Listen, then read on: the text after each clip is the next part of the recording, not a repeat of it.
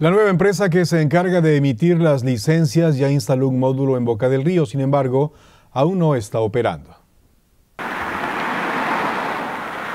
Debido a la suspensión de los trámites para renovar la licencia de conducir, Tránsito de Boca del Río está implementando algunas especificaciones a la hora de implementar la multa.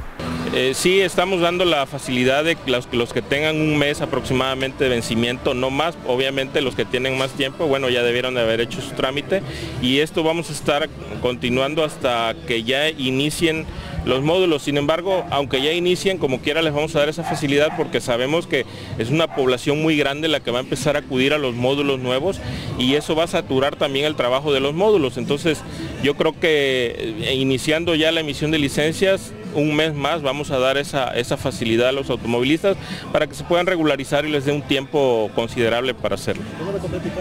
La nueva empresa que se encargará de emitir las licencias de conducir ya instaló un módulo en Boca del Río, sin embargo, aún no entra en operación. Sí, abrieron un módulo en la calle Progreso, eh, hay una plaza nueva, no recuerdo el, nombre de la plaza, pero está frente a la, a la unidad deportiva Gutiérrez, este, en Progreso entre Venus y Marte. Ahí está ubicada el módulo de licencias, pero al parecer aún no cuentan con el sistema para poderlas emitir. O sea, ya está físicamente el módulo, ya están las personas laborando. Debido a los festejos del Día de Muertos, implementarán operativo de seguridad vial en Boca del Río. Alfonso Rodríguez Córdoba, Noticieros Televisa.